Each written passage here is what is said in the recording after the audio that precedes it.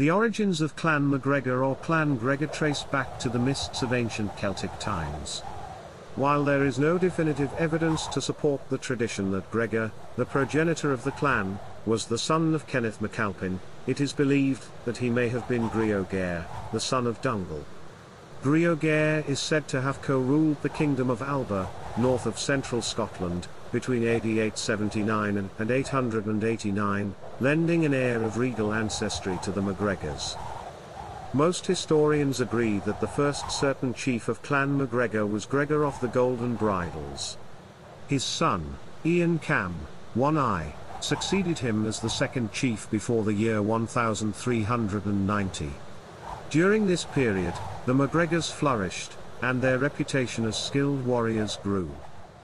The tides turned for Clan MacGregor when Robert the Bruce granted the barony of Loch Awe, including significant MacGregor lands, to the chief of the Campbells.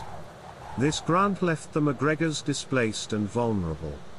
The Campbells, who already controlled the formidable castle of Kilchurn, exerted their power and relentlessly harried the MacGregors. Over time, the MacGregors were pushed deeper into their ancestral lands, with Glenstrae becoming their stronghold. The 16th and 17th centuries marked a period of immense hardship for Clan MacGregor. Colin Campbell of Glenorchy, who purchased the superiority from his kinsman, the Earl of Argyll, refused to recognise the claim of Gregor Roy MacGregor to the estates. As a result, Gregor Roy waged a decade-long war against the Campbells, ultimately becoming an outlaw and leading a life of raids and sheltering in the rugged glens. In 1570, the Campbells captured and killed Gregor Roy MacGregor. His son, Alistair, sought to claim the chiefship, but the tide of persecution against the MacGregors continued to rise. The infamous incident involving John Drummond, the king's forester, and the subsequent condemnation of the MacGregor chief by the Privy Council led to James VI issuing an edict in 1603, effectively abolishing the name MacGregor. The MacGregors were scattered, forced to adopt other names to evade persecution. The plight of Clan MacGregor persisted until 1774 when the laws against them were repealed.